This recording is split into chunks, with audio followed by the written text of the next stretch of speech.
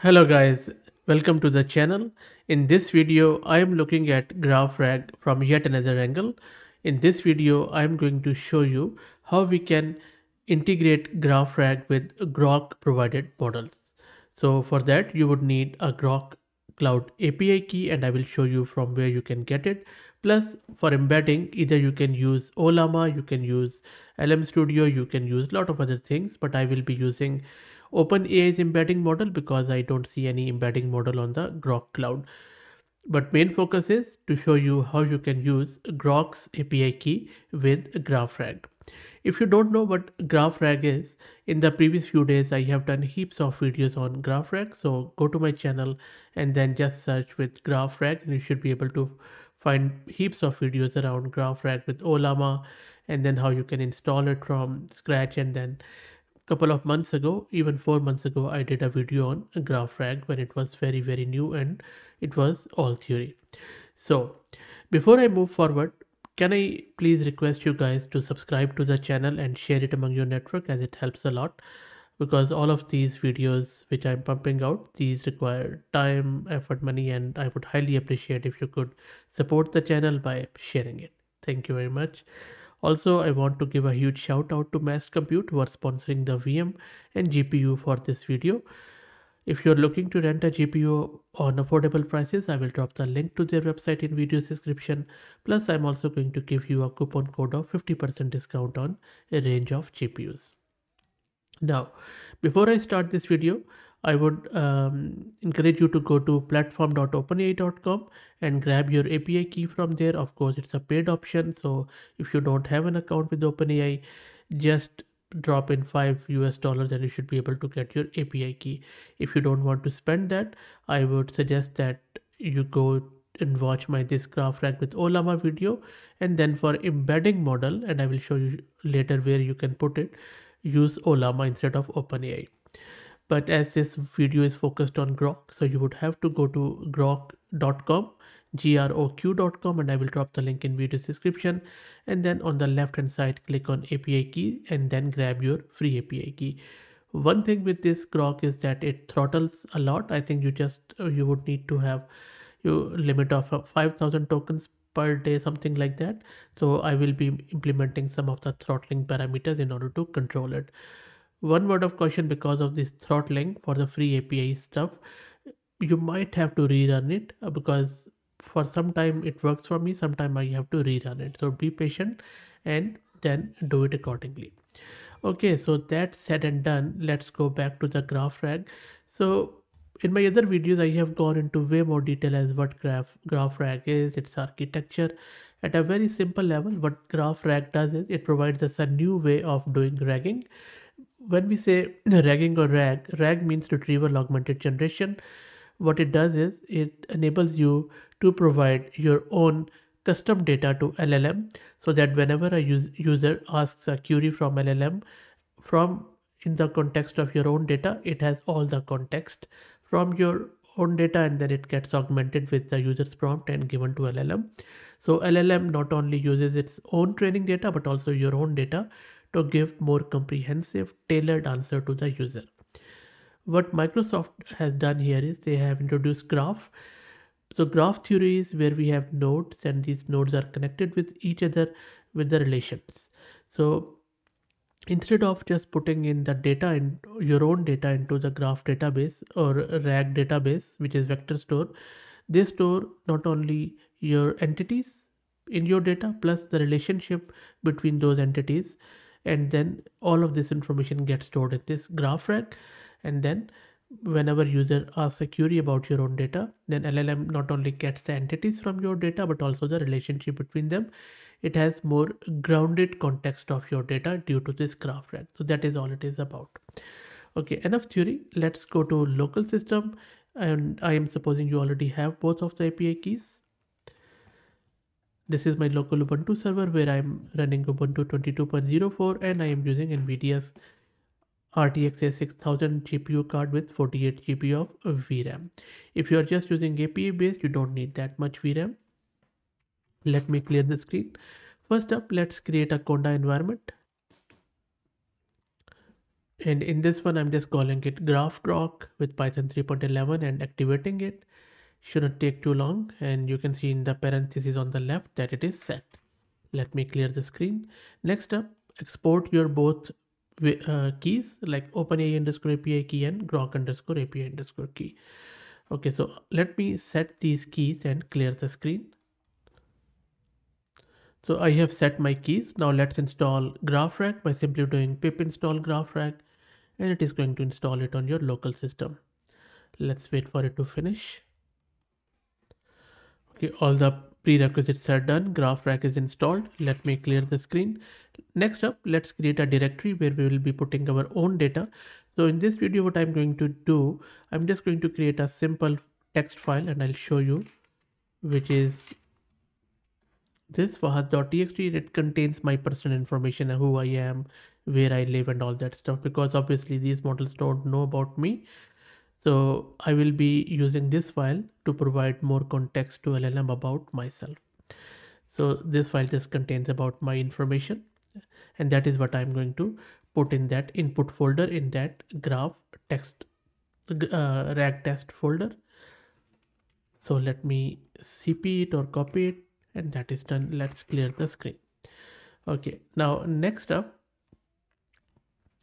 we need to initialize this graph rag and that is the command to do it. So when we run this command this is going to create a settings file in this rag test directory which we have just created and then it is going to initialize it. So let's wait for it. It takes bit of a time to initialize first time and that is done. Cool.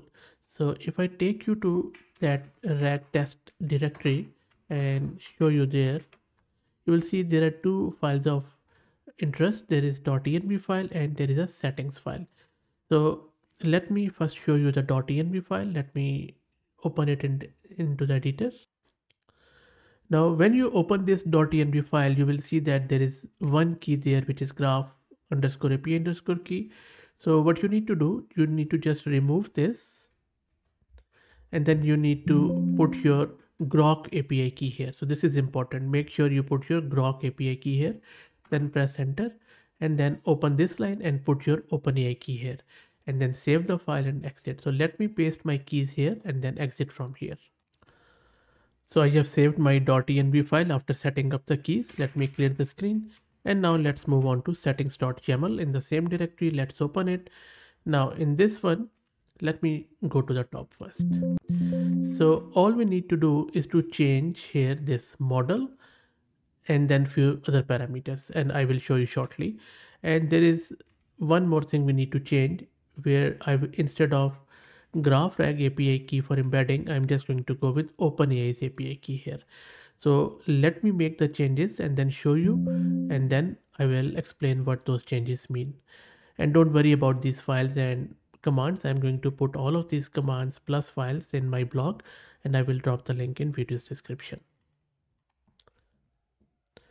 Okay, so this is a change file. So look at here.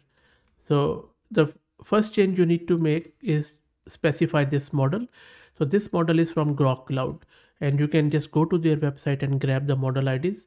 Don't use Llama due to its context size because I think Llama's context size is around 8k and this graph rag needs at least 32k context. So and Mixtral has a 32k, so that is that is why I'm going with it. Uh, I don't want to uh, use the JSON with it, and so I've set it to false. And this is the API base. Now the good thing about Groq Cloud is that it is OpenAI compatible. So that is why we have this completion API base URL and then these are the max tokens so this is a context length of the model that this is how many token it needs to predict the it uses to predict the next token now this is where i am just throttling it to make sure that it doesn't just break out. If you don't specify it it is going to fail. Okay so and then these are the few the tries. So that is why it is going to take around 5 to 10 minutes even for a small file. Okay so that is hmm. done. And now you see that when it comes to embeddings i have grabbed my openai api key variable because that is because we are using this text embedding model from OpenAI and that is the OpenAI's API base which I'm using. Make sure you specify it, otherwise it is going to use that Groq's API base. And don't worry, I'm going to put all of this in my uh, blog and you will get the link. Now, if instead of this you don't want to use OpenAI, as I mentioned earlier, you can go with the Ollama LM Studio and there are various other options.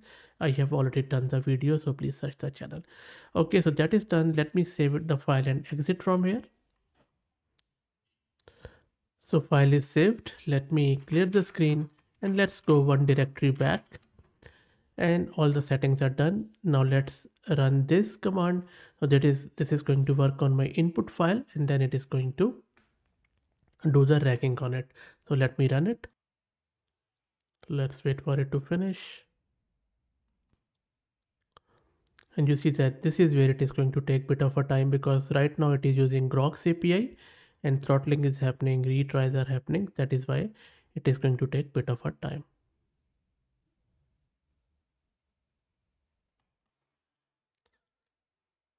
And it is almost there. It has done all of this step and you see it has just gone into my file grabbed everything from there and you can ignore these warnings. So this is all the stuff it has done.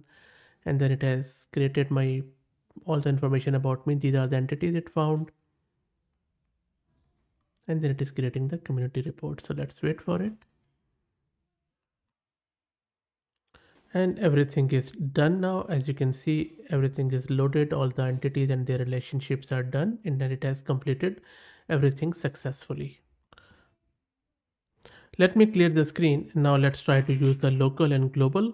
And if you don't know what local and global is with GraphRag please watch my other videos. I have explained it in great detail. So here I'm using this graphrag.query and I'm using that folder where we have everything input output and all the stuff and then for firstly i'm using global method to do the RAGing which also gets information from across the globe. And then i'm asking it who is Fahad Mirza. So let me run it. There you go. So it has gone in and you can see that it has used my query global method. It has used this Groq's method it has used Mixtral model and has returned me the response that who is Fahad Mirza. Okay, I'm a prominent figure now, so that makes me feel good. And then all that stuff is there about uh, myself. Okay, so now let me clear the screen and now let's try out the local method. So this is the local method where it is using the local files where we have our information and I'm asking it who is Fahad Mirza and where does he live. So let me run it. And there you go. So it has produced the data here. If I go up here, you see that it is reading that reading the data from there. Again, it has uses used Groq. It has used Mixtral and then all that stuff about what it did. And then success local search responses that again popular YouTuber and then my second question where he lives he lives in sydney. And then it has given us the data sources too. It's the same file where it obtained from it. And then it just uh, says the community revolves around Fahad Mirza includes AI and all that stuff. And then it has talked about all the relationships and entities it found within the data. And here you go. It even gave the summary about me. So this is it guys. I hope that you enjoyed it. Graph rag is amazing really like it. And as i said earlier if you are interested in knowing more about GraphRag, this is your own channel. Go search GraphRag and you should be able to find various things about GraphRag and some people have asked how they can support the channel. So for that and first thank you for uh, specifying that. Um, all you can do is that you can just go to the home page of the channel then you can either buy me a coffee or you could become a patron up to you. So that's it guys. I hope that you enjoyed it. Really uh, i think i'm much shocked about this graph GraphRag really amazing product. If you like the content please consider subscribing to the channel. And if you're already subscribed please share it among your network. Thanks for watching and support